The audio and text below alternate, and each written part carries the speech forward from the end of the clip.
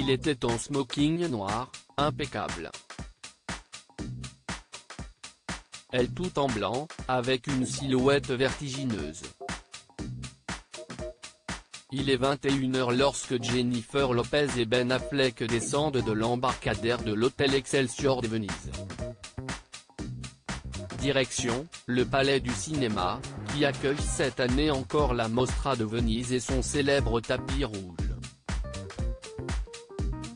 Pas de doute, ils étaient bien les rois ce soir-là. 17 années après leur première apparition à deux lors du grand festival italien, voici Ben Affleck et Jennifer Lopez réunis, enfin, plus amoureux que jamais. Un regard, puis un baiser, qui met la foule en délire. Ils avaient donc choisi l'avant-première de The Last Duel, dans lequel Ben joue, le tout dernier film de Ridley Scott. Pour l'occasion, J.Lo portait un sac en bijoux Judith Leiber, une robe immaculée au décolleté XXL signé George Obeka, ainsi que des escarpins Jimmy Choo.